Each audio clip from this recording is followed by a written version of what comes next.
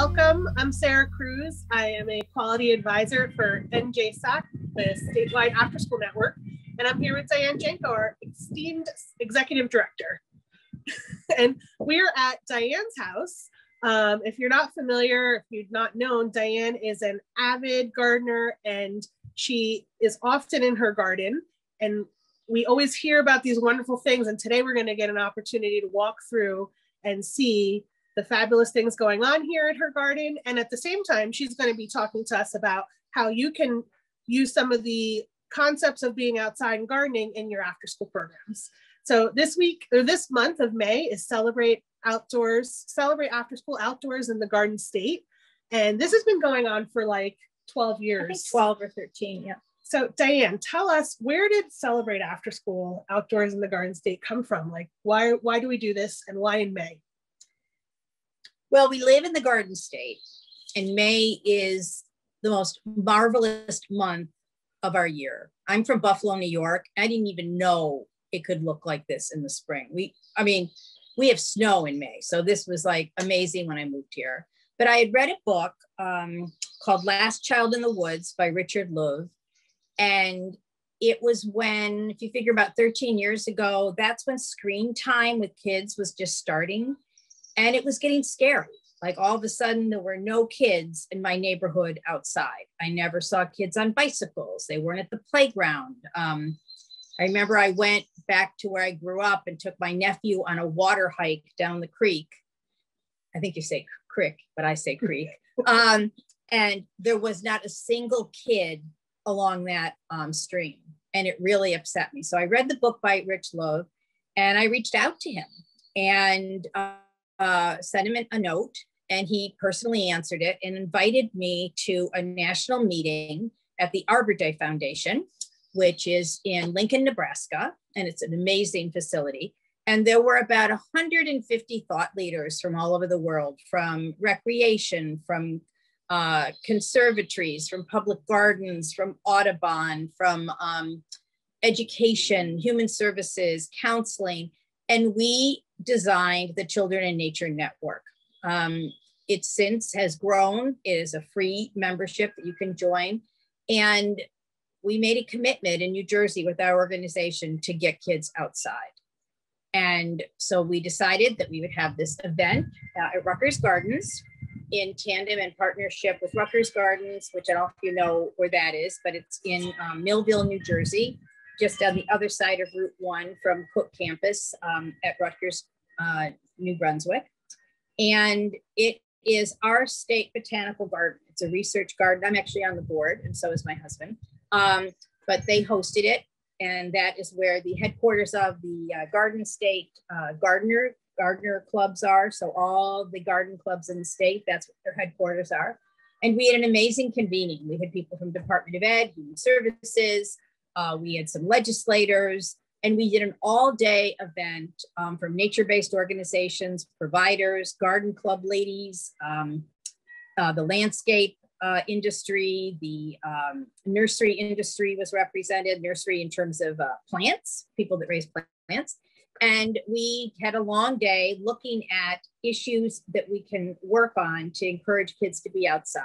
So I remember that day, and there was a lot of people around the table and you were bringing together all these stakeholders to make a connection between the importance of outdoor play and after school.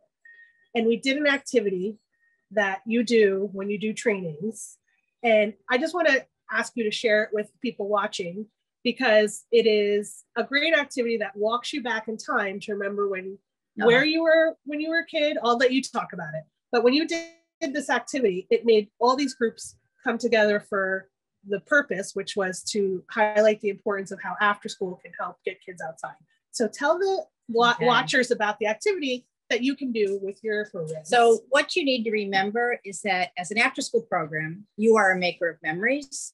You're the new the new backyard. You're the new neighborhood. So the activity we did, I asked people to think um, what they did when they were five, when they were seven, and when they were 10 um, after school who were they with? Where did they go and what did they do? And it was fascinating, some of the things that came up. And if you think back about it, I grew up, I went to Catholic school where I wore a uniform. the first thing I did was go home and change my clothes, grab a snack, grab a book, and climb in my treehouse and sit there until it was dark because I was one of seven children and it, there was very little time to be alone. And that was my You're not a lot time. of space in your house. Not a lot of space. No, no, very You had to little space. outside. Yes. So the tree house was mine. No one was allowed. I built it. It's in my white oak tree. And that was even in the winter, I'd be up there with a thermostat of uh, hot chocolate and a book and a blanket. And I would read my Anne of Green Gables books and my Secret Garden book by um, Frances Hodgson Burnett. So clearly, your love of nature and outs- outside came from when you were young. That's right. And it was fostered and cultivated throughout the years. And as you grew up, you always remember to spend time outside. And that day, when everybody put up their charts of what they did outside when they were young people, it was so similar, even if they were in cities or in the country, um, which leads back to the Richard Louv book, uh, Where Do the Children Play, right? Is the name of it? Or Last Child in the Woods. Last Child of the Woods. There was also a Where Do the Children Play by Video. Elizabeth Goodenough. Right. Which you have a copy of. so that Right. same day that we all first like got grounded in why it's important to recognize after school and how it can get kids outside we all watched this video of where do the children play Yes. so talk about that video a little bit So that's when um, it was fascinating. Elizabeth Goodenough um, was at the University of Ohio and, oh, Kentucky, I'm sorry. And she did, did long term research on the importance of uh, getting kids connected to nature and nature deficit disorder, which is a term that Rich Louv um, coined, coined with Last Child of the Woods. And it looked at different cultures. It looked at um, kids that were um, indigenous, they were uh, living on an Indian reservation and their family were um, fishermen and how the kids would go out and fish with the family. Uh, the part that's that still stirs my heart is when they had two groups of kids and they separated them and they gave them each the same group of materials. They had cardboard boxes and markers and paint and tape and everything. And they said, um, build your neighborhood. And two groups of kids, uh, totally separate. There was a suburban group and there was an urban group. And uh, the suburban group built these buildings all by themselves. They didn't work with each other as a team. Um, one kid drew, uh, made a video rental store. Remember video stores? That's how long ago it was. Um, there was not a single person. There was nobody outside. There were a couple of trees, but they each came together and they each made their own building and then they put them next to each other. The urban kids had faces in the windows. They had people sitting on their front stoops. They had um, kids playing outside. They had window boxes that they had made on these cardboard houses. That was their community. Those suburban kids weren't outside, weren't connected, drove everywhere, and were totally protected from the outside, from Right. being outside. and and watching between reading the book having the convening watching that video and knowing the kids in our after school programs because at the time i was an after school provider and i was seeing on the video and reading in the book exactly what i was experiencing with the kids in the after school program kids who don't play outside or um, only spend a little bit outside time because they're concerned about the elements And staff ticks, yeah, ticks. staff who were really uncomfortable with going outside and knowing what to do. And all those parts together um, created kind of like the understanding that we needed to address this issue of getting kids to go outside, specifically in our after school program. So you then charged us with developing some tools. Right. And you were the one that developed a, a resource guide. Um, we did a big event at Rutgers Gardens for kids, which was awesome. You we worked on um, getting field trips for kids to encourage them to go outside. Very simple, not like uh, you know that a big event was going to happen, but they could look and explore and pick up rocks and look at bugs. Right, because we found a lot of kids just didn't have that experience or that time because they're in school till three, they're inside a cafeteria till six, and the staff didn't know what to do. Right. So we had developed a toolkit, which is still available now on the website. You can download and do those activities, which are like making bird feeders and putting out a piece of fruit and watching what bugs show up at the piece of fruit, or um, or ideas of where you can go within the state to explore and touch nature. And all of it is about being outside, Right. And at that time, screen Yeah. time was critical. I mean, families were dealing with the whole issue of kids wanted, um, and parents and families wanted kids to bring handheld games for gaming during the day because then the kids would, that was a deal that they'd do their homework and they could play. They didn't want to go outside. And we were worried then about the amount of screen time I have. Now you look at how much screen time with COVID that our kids have had. I can't even begin to chart it. So let's talk about that a little bit. Right now, all of our kids are glued to a screen from eight to one. My kids have school till 3:30 online. So how important now is outside and nature and how how do we do it? You know, and why is it important now, especially? you know, I think one thing COVID has taught us, I hope, um, starting last March in my neighborhood, I saw kids that I had honestly and truly did not even know lived on my block. I saw kids learning to ride bikes uh, because their parents never had the time because they were all working and driving into the city. Uh, every night, I still see families taking a walk in the neighborhood, including my husband and I. When we lived in England, every single night, every night at, before dusk, everybody in my whole development, they'd go for a walk. People went for walks. People don't do that So COVID actually made people They go did. outside more and spend exactly. more time outside. So Yeah. now here we have after school programs. Right. And now they're starting back. So we want to get those kids out where it's fresh. We don't have to work. Like if you notice, Sarah and I are both doubly vaccinated. We are outside. We could actually technically even sit closer, but we aren't. We're over here. Um, but that whole idea of being outside and outside, which has resonated throughout the last year and a half, is being the safest place to be. Um, so I think we need to work on helping kids and staff and families also re-enter into that realm. Right.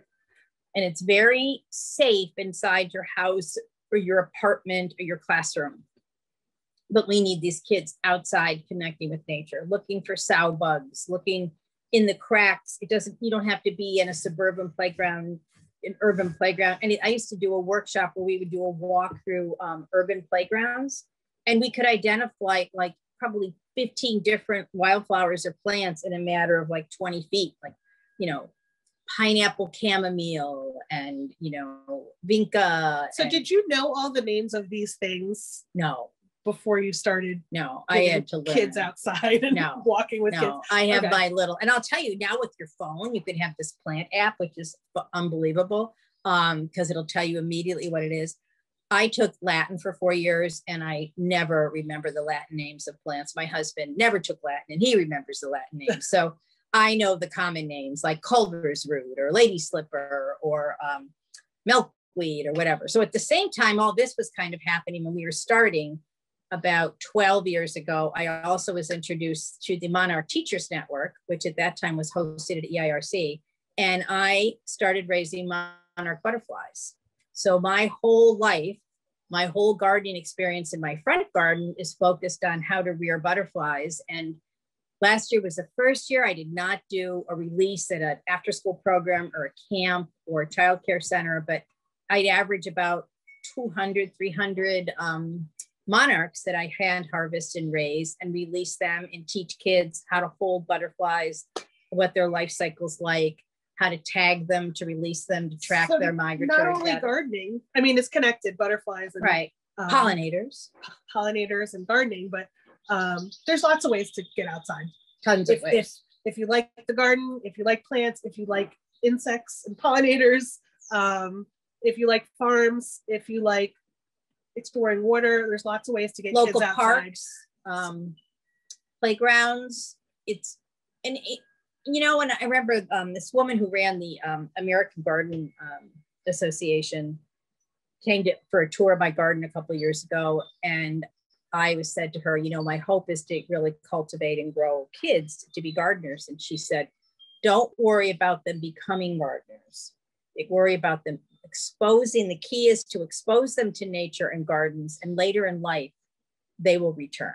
I love that. Yeah. So you, she had the American Gardening Association at her house. So we're gonna go to your American Gardening Association recognized. Now remember, we're in between, we're in between uh, seasons, so we're gonna walk through and you're gonna show us some things Right. that we might see in our own neighborhoods or even some new things um, that will spark our interest and that are just really cool to look at and touch and feel. And even though you may not have this resource in your neighborhood, you do have your parks, your county parks, your state parks, um, your garden centers, your environmental education centers. There's so many places that you can get kids yourself or even direct them and their families to. So uh, come along with us as we walk through the garden. And then I'm just always going to remind you to check out the website for additional resources and activities. And Diane's going to show us some of these things that she just talked about. so many gardens, public gardens have um, art, and I really believe you can't separate art from nature. So um, one thing that we have is a commissioned piece from a uh, sculptress called Marcia Donahue from Berkeley, California, and we s- live under a twin um, oak tree. It's a pin oak. So we have a pin oak mala where she made handcrafted, beautiful clay beads. Can I feel it? Yep, you can feel it. They're heavy. Oh, this is heavy. Yeah, This is an acorn. yeah. And it's a pin oak acorn. And um, she designed a necklace to encircle our tree, and it's attached to our house and encircles our our oak, oak tree. Our house is called Oak House um, in honor of the trees. When we lived in England, everybody named their houses after plants. I was wondering why you called it Yes, everybody like Rose Cottage or you know um, Primrose Way or something. So we I have, have, to a think of a name for my house. yes. I I love naming. Marigold's um, Yes, basil Yes, cottage. basil basil cottage. Yes, I like that. So um, we're on Zoom, not on a regular phone. So I'm gonna go out of the screen here and Okay. follow you All right. as you take us through your garden. I'm gonna be careful walking. yeah, yeah. Make sure you look down. um, 'cause we're we gonna just I, again remind you guys grab some lunch and we're gonna go on tour of this garden. So Diane, okay. Now what do I do? Walk I I'm down? gonna turn this to you. Okay. Okay, All right. so- So. this is what I look out on. Okay. Um, and uh, my husband and I designed this over 30 years. We have many different rooms with different types of plantings. And we do all the work ourselves. We do not hire anybody. We do not put our leaves out. We mulch them all. We don't use any pesticides or chemicals. I do not raise vegetables because I grew up in a farming family. My great uncles were all grape farmers and fruit farmers. And the idea of raising tomatoes to me, I just can't even do that. So I just go to the local farm stand. All right, well be careful walking down and going down the you don't need to look back. I will follow you guys or follow you. There's the acorn Mala. mala that she was talking about. So we are going down. Don't fall. Don't fall. Okay.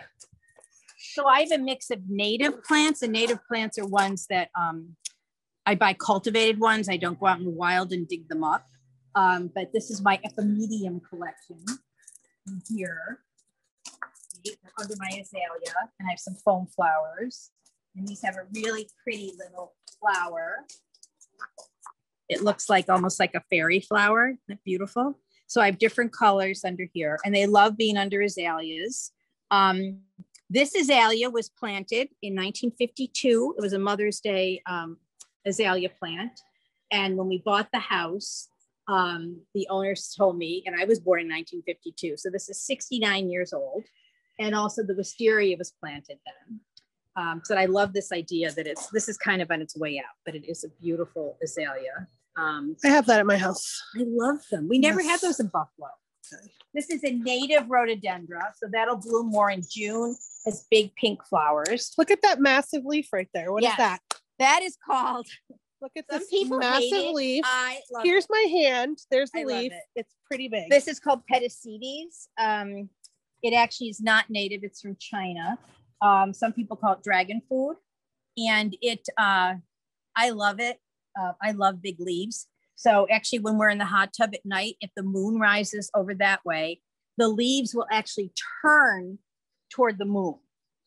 You can watch them when you're in the hot tub turn. Fascinating. But these get kind of ratty toward the end of the year. It's, it's interspersed with um, hostas, but uh, I love them. I think they're anything that I can get some big green leaves for. And these are some native dogwood. This is the new red. Wait. Diane. What? I want to remind when we went to Rutgers Gardens, so we planned a field trip for the kids from New Brunswick to go to Rutgers Gardens. And even though New Brunswick, the city, is not far from the gardens, it was a long trip for them to get there. And when they got off, they only got to do a couple things. And one thing they got to do was pick a leaf. Do you remember that? Yeah, I do. So they picked leaves yeah. that were the size of these beautiful leaves right here. And that was it. And you would have thought they had made they had gone to heaven. It was so cool for them to just be able to go out and explore and pick some leaves safely and and wave them around at each other, which and I want to do right now, but I'm not going to pick your leaves. I will say this: my okay. grandsons, who are three and four, love these giant leaves. They're bigger than they are. And These are just started, so um, and these are some native um, geraniums, which will start to bloom soon. And deer do not like them, but aren't those pretty? I love these. Sarah, you're going to get some of these. So hydrangeas. These are my hello, some of my hellebores. This is a pergola. So this is our first room. And this is where we spend a lot of time um, having dinner. We have a pizza oven there. There's a little house wren building a nest. She's probably not happy we're standing here. Um, I have water that they love bubbling water birds if you want to attract birds anywhere they love any kind of water movement and here there she is she's up there she's not happy that we are near her nest but this is where we spend most of our time in the summer um, and there's a lot of native plants like the look at these down here i want everybody to see these these cool little cool. plants so these used to be called lenten roses my grandmother had them they start blooming in march this is also um, wild. This is native ginger. So this is a wild ginger, which smells pretty cool. I thought that was a weed. No. Oh. No. Well, I'm it learning a lot of things today. so this is filled with different hydrangeas, but most of my uh, daffodils are gone. Now we probably have about, well, probably, I think probably about 800 daffodils interspersed in here. And also I have this wonderful thing that people hate, but I don't mind it because I can't get rid of it. It's called celandine, false celandine. And about two weeks ago, all the undergrowth here, this is an invasive species, but you can't get rid of it unless you like use a uh, herbicide, which I will not use, um, has beautiful yellow flowers. So this was all yellow, the undergrowth. And as soon as it gets hot, it dies back and the worms eat it and then they poop out worm castings. And then I have a whole layer of really healthy dirt. Nice. And it's free. what is that beautiful pink thing over there? Where? Hanging uh, down. That's called bleeding heart. Isn't that beautiful? Yeah, I love that. Yeah. That's gorgeous. I know. They used to say that if you open it, it looks like a woman inside. I don't want to even go there, but yes. but it's pretty. I have them in white and pink. so this is a that's a native Appalachian bud. These are all, like I said, native. Um, this will all be, these are hydrangeas. Let's go back to um, fish the fish pond, the next room. Oh, here's my spotty Dottie. Love this. She blooming. So she's going to bloom. That's a, um, actually it's from China. It's a mayapple. Um, and that's a Franconia and there it just bloomed. Here's more uh, ginger. But in here I have um, some trout lilies that are on their way out. Those are native. A lot of these are native ferns. Um, and then I have mayapples, which are native. Oh, Diane, before we walk through and you have this oh, little section here, mm -hmm tell us about this and how this could be cool in your after school program. First too. time I saw this was at the um uh when I was at the Children in Nature conference at the um, National um, Arbor Day Foundation. And you can buy these from Amazon. They're like gazing balls, but they're metal. They're very light.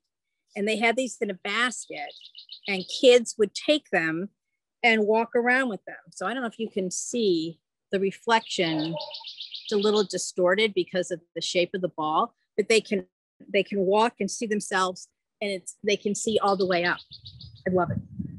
My grandkids walk around these all the time. She has them tucked into places because they pick up light. Yeah, and it's just very cool. Here's one. And that's my European beech, which I absolutely love. It looks like an elephant, I think.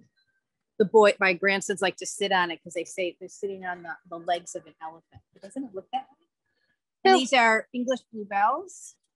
Um, they'll disappear. So when a plant grows and disappears, like those ones that are dying, they're called ephemeral because it means that they bloom in spring or, or, a different time and they just disappear. You never know they were there because they just kind of. This is a native May apple. And I was very lucky. These were all here when we moved in. I just love it. I feel like you could have kids pick a little bouquet and draw what they see and magnifying glasses are awesome for kids to have um, also mirrors because many times you can't see under a leaf and if they hold a mirror um, like a plastic mirror then they can see the reflection right of what they're looking at so even times. just getting um, a few mirrors mm-hmm. some magnifying glasses you could do this anywhere it doesn't need to be in a this is a hawthorn tree so it's called garden. an understory tree and you have to have hawthorns um, if you want fairies to come to your garden. Oh, yes. Okay. So if you want fairies, and I do have fairies, so I have my hawthorn. Because the fairy's need them. Okay. and this is my, I don't know what you want to call it. I'm going to call this the pond garden. This pond was built in 1931. And when we moved here, this was all woods. I cleared it all myself um, and dragged the trees out. And my husband built paths, and this is the first structure we built. And then, um, but I thought I had some kind of druid circle because there were these rocks in a circle when I took the trees out, and it was a fish pond that they had built in 1931. We still have the original rock. And any of the original fish? No, no. no. I put this here so um, the pollen stays out. But I have um, goldfish. So we're gonna minnows, and then my frog isn't awake yet. Um, but I'll get there. new tadpoles. Is that one of those balls in there? Yes, I have that floating there because the um, we have a blue heron who's probably as tall as I am, and he looks very prehistoric. That's one reason I keep this on until I get plants that grow in here. It has to be warmer. He could fish out that entire pond in Wait, a day. There's a bird around here as tall as us. Oh yeah, it's like this, right, Dagmar? You've seen them. They're like they give you the heebie-jeebies, and uh, and I'll find him like sitting up on my tea house, or you know, he could fish out the whole thing. If you have a uh, ball floating, then it kind of gets them freaked out. But they don't. But he could stand in that pond okay. and just eat everything. Yes. Oh. Yeah. Well, but once I get the green, um, the plants growing, um, when it gets warmer, then he won't be there. He okay. won't bother So this is my currant bushes. These are smoke bushes. These are cardinal flowers, tons of ferns. Um, all these ferns started with one fern. Uh, hard to believe. So you can, can you take a fern and bring it inside and grow it? No, oh. not a native. Not a native. Yeah, okay. No, no. You would have a tropical fern. Oh. But you could do leaf prints with them. Oh, what's a leaf print? A leaf print when you take a piece. I love ferns. I always wanted to have my fence be that. You take a piece of fern and you put paint on it and then you put a piece of paper on top of it and then you have a print. Isn't that beautiful? That's beautiful. And I love ferns. I've got a bunch of different types.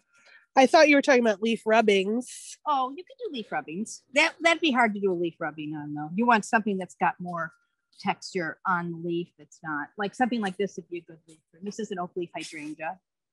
Um, a question. What's leaf rubbing? A leaf rubbing is when you put a piece of paper on top on of top. a leaf. This would be good for this one. And you use yeah. a crayon, right? Yeah, a crayon that you peel and you can rub back and forth and you'll get the um the indentation.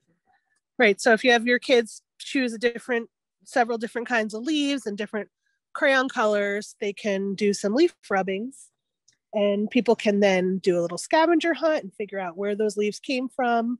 Lots of, you know, shoot off activities from from just a leaf really. Yeah. Yeah and you can have them do a leaf journal that way. Yes. You know you could even have a notebook and then skip the other at their page. This is um, a buckeye which is a native it'll have like little chestnuts. Is it from ohio?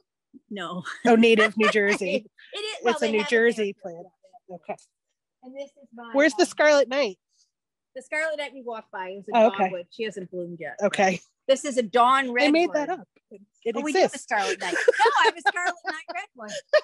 It's a cultivar from uh, Rutgers, and it is uh, virus resistant because many we lost a lot of dogwoods in New Jersey due to a virus, and Oh. they've made it resistant.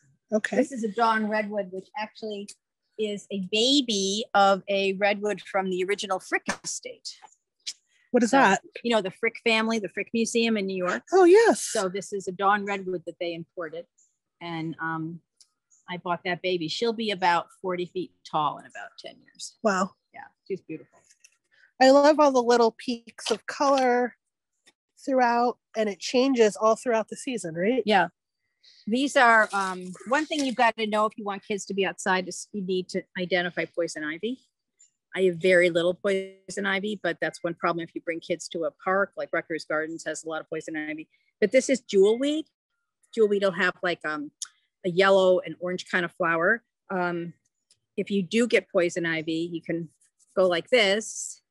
And after you wash the oil out, if you rub it on your skin, it takes the bite off of it. Oh. Yeah. So I always have that because I have a lot of poison. So speaking of identifying poison ivy, Diane had mentioned a plant finder app. You know, if you're going to take kids out, it would help to download that so you know what you're going to have the kids um, not touch. Yeah. we want them to touch. What do we not want them to touch? Poison ivy. So back here, it's all designed for birds. Um, so I have uh, high bush blueberries, I have elderberry, I have um, lilac, I have a lot of the migrating birds that come back here, like the yellow warblers, and um, I have wild raspberries. And this is all for the birds. So um, one thing to think about is a free activity to do with kids is take them bird watching. They could each have a bird journal. They, kids love binoculars. Sometimes you can get donated binoculars from, um, I know the bird seed store in Scotch Plains. He'll collect binoculars from people because people always kind of scale up and get a more um, expensive one. Um, but many people donate their lenses and binoculars for kids to um, bird watch and you can start a bird watching journal. If you have a program near a cemetery, that is the best place in the world to bird watch. Interesting. I love it. Look at that Free. Look at that tree right there. Or Viburnum. it's a it's got like a stair step of leaves coming up out of it. Stairs. See, there's the longest one. It goes, this one yeah, here. Yeah. Oh, this is an elderberry. okay. It's a wild elderberry. It's cool how it's growing. Did you plan that or just No, did it? just they just come up. This is how it did. and it'll have a big bloom of white flowers. You see them a lot of times when you drive along the highway. Um, and then they have little purple flowers or little purple berries. And um, my grandmother used to make elderberry wine out of it. Um, when I lived in England, I would make elderberry pie, which isn't very tasty, but um, And are these blueberries right there? those are blueberries. Those are high bush. Yep. So it's really cool. I mean, I know you don't grow food, but having kids see where food is grown. Yes. And one thing when we went to Rutgers Gardens, one of the most memorable things is when we had a group of kids come and uh, they got to plant. This one kid said to me, he was remember he was like the eighth grader. He had like the droopy pants. He was the oldest kid. Cool. yeah, and he was so hot and cool. And he said, "Ma'am, I've heard it said that tomatoes grow on a plant. I'd like to see that someday." And his father was a Mexican worker, um, a farm worker who had come to the United States, who now worked in landscaping, but you know, no longer was a farm worker. And here, this kid had never seen a tomato, and he got to take the plant home to put on his fire escape. And he was so thrilled to see that he could get an actual tomato plant because they think everything comes wrapped up with cellophane. Right. So even, I mean, that's not a screen. There's no Right. immediate reward, but uh, that made an impact on a child to have know, and see a I mean, you hear a Plant lot of kids too are doing um, with COVID have started vegetable gardens. Like you guys, your kids are involved in vegetable gardening. yes. Um, you know, that wasn't something you probably thought about five years ago. no, not at all. Yeah. but I know several friends whose grandkids started their own garden. My grandkids have their own vegetable garden now and fruit and strawberries and because we're home, you know, we didn't have that So- push to do something else. I'm just noticing this is the pollinator area you said, and bees are pollinators. Yeah. There's a lot of bees around here. A ton of them. What do you think about that? Well, I, mean- am not allergic to bees. Okay. So I, you know, You want to check your kids before you go. Yeah. Make sure you have all the things you need. And I'll tell you, they could care less about me right now because what they want is the nectar. Um, and when they take, you can smell it. Oh my god it smells so good. Yeah, I really wish you guys could smell this purple flower right here. I I mean, it's like I hate to compare it to Bed Bath and not Bed Bath and Beyond, Bath and Body Works, but it's like real natural Bath and Body Works right here. You know, and people are afraid of bees, and rightly so because they don't understand them. Um, but a real bee, hornet, you don't want your kid anywhere near a hornet um, because they are aggressive. We actually have an influx now of European hornets, which we had actually in our tree out in front of our house, my neighbor's house, and it found I didn't realize I couldn't figure out why I didn't have that many caterpillars. Evidently, they will eat monarch caterpillars, and they were so aggressive you couldn't even walk outside. But you can see now we have tons of bees around here. I mean, they're teeny, teeny, teeny bees. So I know a lot of people are scared of bees and would be hesitant to take their kids to do something like this because of it. So some bee education could not hurt. And Dagmar, our staff person, is a beekeeper. So she would be excellent for that. Let's skip that part. We don't want to see where we trap the ground. Um, and this is my tea house. Everybody doing okay? Awesome. So say that again, This Diane. is my tea house. Okay. So this is all made um, from recycled materials, up, upcycling. Again. Wow. So most of the stuff came from junk day, like that window. People just give me teapots and um, somebody just gave me a whole Turkish tea set. Um, and kids in the neighborhood, if they want, they can schedule a time or friends of mine can schedule time with their kids.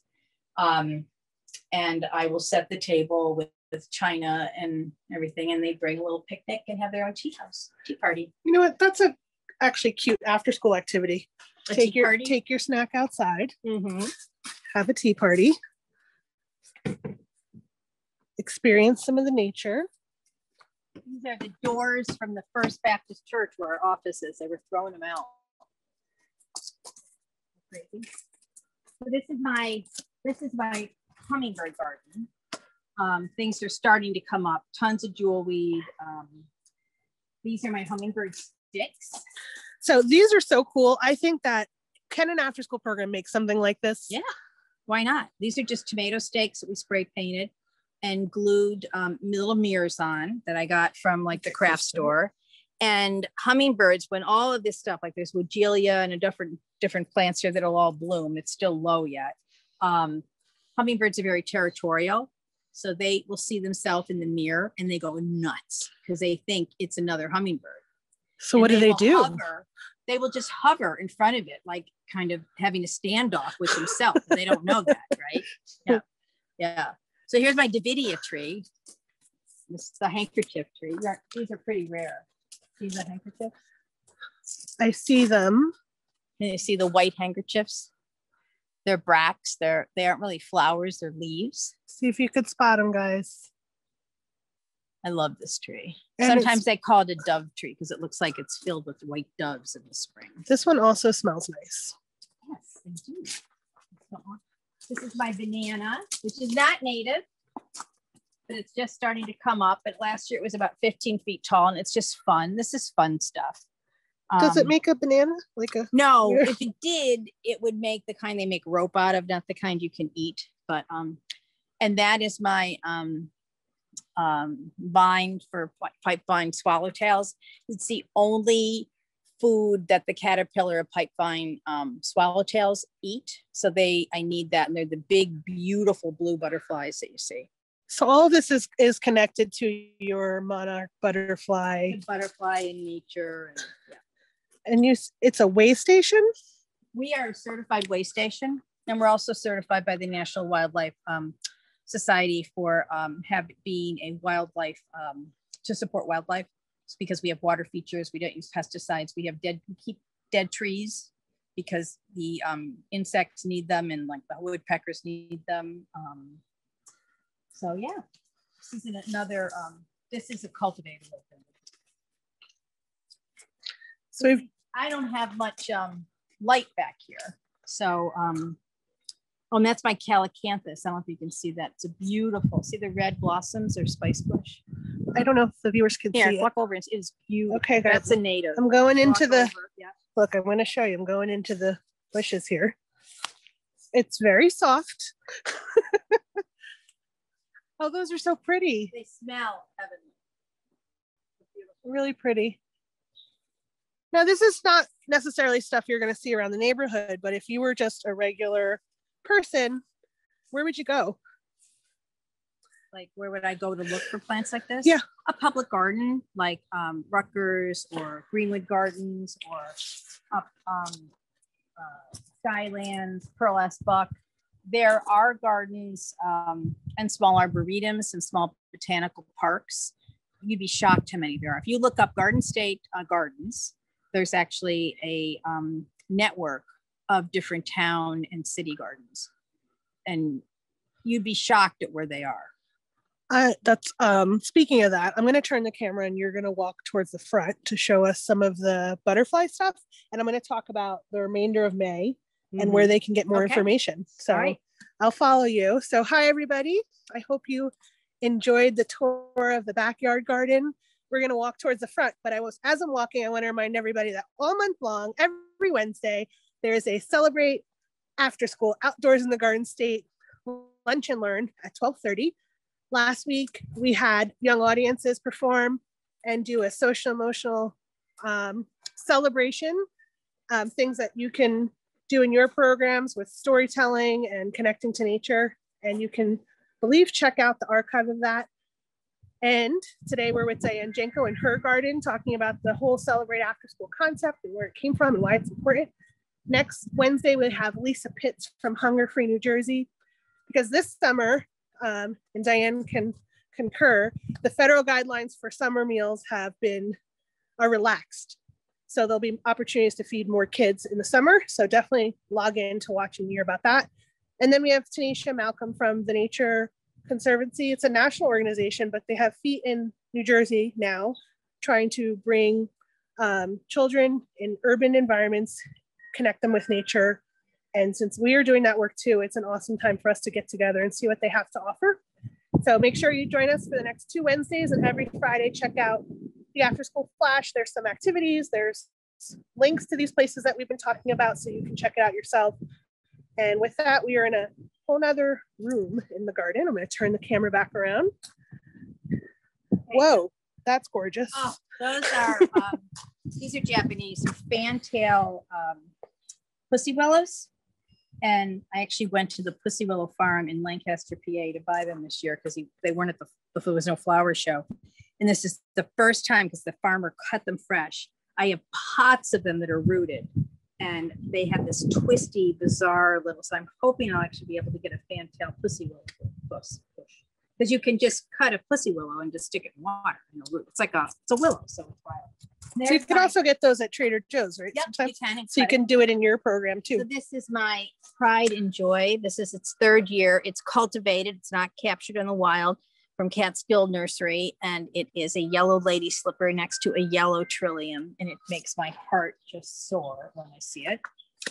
And uh, there's tons of trillium here, kind of on the end. There's one. There's a red one. That's variegated Solomon seal. That's a native. This is the I remember bleeding That's- heart, Bleeding heart. But it looks is like white, heart, and this looks like asparagus. Oh, those are bluebells. Well, Don't eat those. they look del- delicious, but I won't Right. eat them. Some people find this invasive, but I need this for my migrating monarchs. Um, it's hard to get a lot of nectar sources in September, and this is my butterfly bush. I have one, one butterfly bush, um, because it'll have flowers late. These are my white violets that I actually got the seeds in England two years ago. You can eat those, right? yeah, candy them and eat them. Yeah. So we have them in our yard, but they're purple. You have the state flower. So the state flower is the violet. Yes, it is. It's purple. It is. And if you cut those blossoms um, and you paint them with egg white, dilute egg white, and you put ultra fine sugar on them and let them dry in a wax paper, you can have candied violets. I used to always do that. for my kids. We'll write that up for the next flash so that you guys can candy violets. And here's another. You can candy your state flower in your after school program as you're celebrating outdoors in the Garden State. Hold on. Oops. My red one. That's a trillium. That's native. Yeah. These are so pretty. I know. This is Woodruff. This is called the Mayflower. They make May wine out of it. My birthday is May Day. So what you're supposed to do is take the blossoms and the greens and float them in um, wine. Let's skip over your Okay. house here. You made these planters, right? Yeah, except for this one. Yeah. Yeah, these are called troughs, hypertufa troughs. And um, these stay out all winter. And those are succulents, right? Yep. Most of them are succulents or uh, conifers. Yep. Look at this one. It looks like a little village. See here, I've got my little night. I don't know where my here's the here's the my kid, grandkids play. Here's my I love that. When I was a kid and we watched TV, I would see the Matchbox commercials and how they would take their Matchbox outside and make tracks. And the I want to do that so bad. That's what that looks like. So now we're only vegetables. I have this and this. Those are my strawberries. So here's my milkweed. okay. What is milkweed? This is native milkweed. Um, this is the only plant that monarch butterflies will lay their eggs on.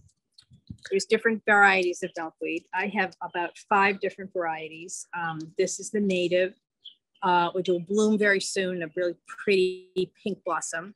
Um, but that's called a host plant. So a butterfly needs a host plant. They're going to lay their eggs on something underneath, and then I'll start to see them in June. They'll lay it underneath, and then they will. You'll. I collect the little eggs. These are soft furry, right? They are furry. Yep. And they also have. Oh, See milk. Yeah. Can you eat that? Oh no. Okay. No, no, no, no, no. This is latex. Just checking. um, just checking. when I was a kid, I would write my name and then like sit out in the sun, and then I could um, it would make like a resist, so I'd have my name, and this would get like sunburned. Oh, but- tattoo from yeah. the milkweed. We will not write that up and No, put it in the no. guide next week. But so you know what happened. I have um, here's our way station notification, so we're certified. So that means that they have shelter, they have water, um, there's no pesticides. They have a nectar source, which is a flower. So it's remember when they're migrating, um, we go through five different broods of um, caterpillars. So I mean of um, monarchs. So the ones that come in January are not the ones that fly away in August and September. That's the fifth brood um, that go to Mexico. So they need something sweet to eat to sustain them on their migration path. And it's hard to find a lot of that around in September. So I have um, goldenrod. I have um, a lot. They love asters. I have native asters in the front. So I Um, see there's a monarchwatch.org. Is that something that people can go online Yes, they totally and can. find the local way station by Yep, them? you can right, find your registered station, or you can. Um, there's information on how to rear migrant uh, monarchs, how to track their migration. Um, I, it's the only butterfly that you can really like handle. Like you can, it can sit on you. They can, you know, a lot of people um, raise painted ladies. It's a kit that you buy. Those were not native to New Jersey they're considered native now because so many people have released them that um, you know they're present in our ecology now but So I know that um, you're very passionate about butterflies. You've helped kids become passionate. And then we also, your daughter did some work for us, and it's a resource on the website right. that after school programs can use to explore butterflies. it's how you can um, make a butterfly garden in your schoolyard. Uh, you can use a rubbermaid tote with holes in the bottom. Um, you could actually grow vegetables like that. I mean these are the only vegetables i grow and herbs. Um, So is That's this what you guys are. eating every day? yeah i do all my own lettuce and everything and i've got different herbs um, uh, the arugula is bolted but i can still get some of that. Here are my chives. And i don't have much sunlight so there's no you could do this with kids in a um in a in a trough in a bin or a made bin my sister in jamestown new york used to work for a church and they actually had an entire free vegetable garden where um, volunteers, they everything was planted in troughs, in uh, tug, trugs, trugs, like that they put holes in the bottom, and they tomato plants, everything else. And if you volunteered, you could harvest, help harvest them. Nice. Uh, there's some really cool things. I've never seen lettuce that looks like that before. Oh, you haven't? No. I, like. I have cilantro. This is borage, which I love. Um, it, this actually, if you're interested um, in pollinators, um, once this blooms, it is a beautiful blue flower. And if the nectar is depleted, like if a bee drains the nectar, it will totally replenish itself in 20 minutes. What? Yep. That's amazing. So I'm really big, and this is tastes great in a cocktail. Um, so so this had about a thousand daffodils. Um, uh, so this is where you plant things so the butterflies come. yep, goldenrod,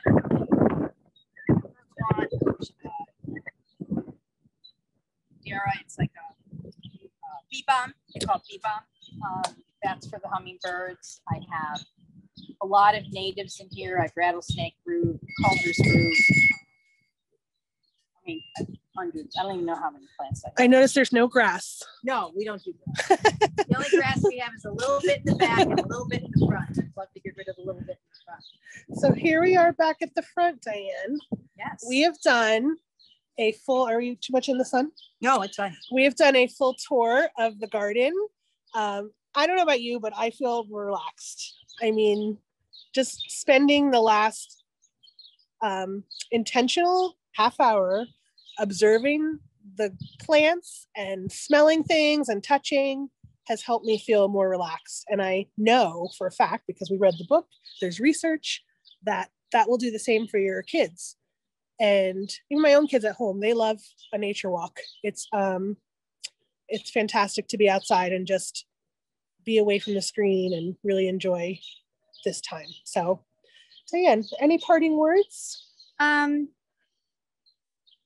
that any little bit of exposure you can give kids to nature, to touch it, to feel it, um, to get their hands in the dirt is so important. And like Sarah, you were saying at Rutgers Gardens, one of the first things that they could actually pick a leaf, um, you know, let them know what it's like to take, if it's a safe playground or a safe area, that they could take their shoes off and feel the grass beneath their feet. Simple things like that make such a difference. Um, the scents, like here's um, this is lemon balm. I can smell it. Um, Oh, Yeah. oh my gosh. so I make You tea out of that. I mean, I've this got. smells Oh. so good. Yeah, no, it's a great tea. I can I eat this? Obviously, I need you lunch. could eat that. I did not bring my lunch on the lunch and learn. And I wanted to show you. See, here is my azalea. Now, pollinators are attracted to this. See, there's a, a bee right there. He does not care about me because all he or she wants to do is, I think it's a he actually, um, is to get that pollen. So they are not going to bother me. But if I'm going to go and put my hand on it or um, decide to pet it, like a friend of mine's grandchild did, um, it's Then you have some issues. yes, then you've got it. Yeah, exactly. So we're at the end of our time. It's been a real pleasure. Thank you for sharing Well, thank you. your garden with us and talking to us about the background of Celebrate After School Outdoors in the Garden State. So just remind everybody, um, if it's a daily thing, sharing a fun fact. What's today's fun fact? Do you remember? What's the state flower? The violet. Anyone? Violet. Yes, the What's a state bird? What's the state bird? Goldfinch. yes. Awesome. Oh my God, are you kidding? How do you know that? I remember Wow, it from when we used to go to the state house and you used to point it out to me on the floor. That's right, the goldfinch. Okay, what's the state fruit? Ooh, That's relatively new. I see a hand. Jess Hurry up and get up. She's got to unmuted. She's got to find her, Let her her get mute button. What is it, Jess?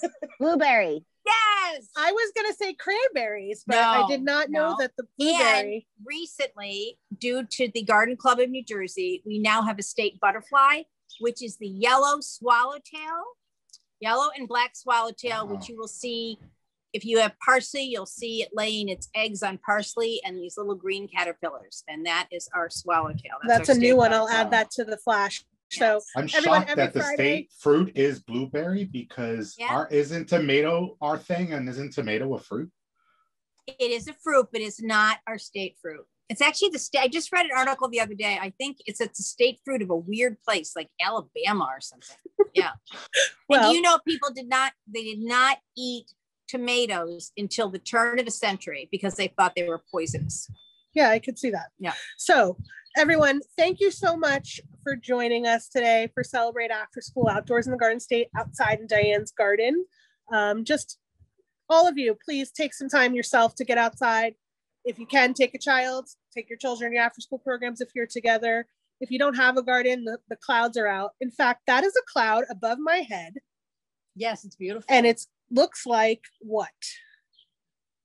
Which one? That one? Yeah, what It looks like a is that? whale. Yeah. It does. or Yeah, a whale and a dolphin, duck. I mean, look Oh, at that. Outdoors, outdoors in beautiful New Jersey, a simple activity you guys can do to get your kids out um, with no supplies. So check in with us, check our website. Thanks for joining. Outdoors joining. is free. Enjoy the rest of your afternoon. Bye.